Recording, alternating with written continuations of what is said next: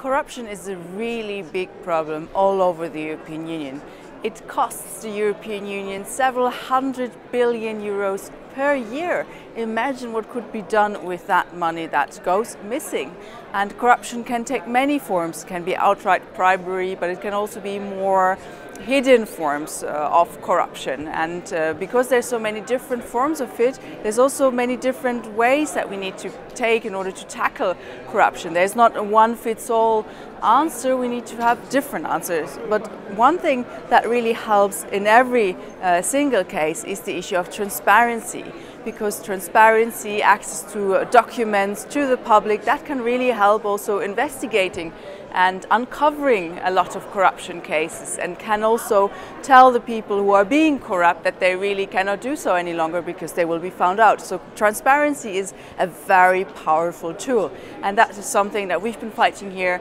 for here in the European Parliament as well as in all the member states um, because transparency is really key and there's many things that need to be done still. For example, when it comes to access to documents, uh, for example, in the area of uh, trade as well. So transparency is one key element to fighting corruption and that's what we'll keep fighting for because there's really a lot at stake for the whole European Union, for all the European citizens because it's our money that goes missing and it goes into the pockets of the rich people and we really have to change that for the whole European Union.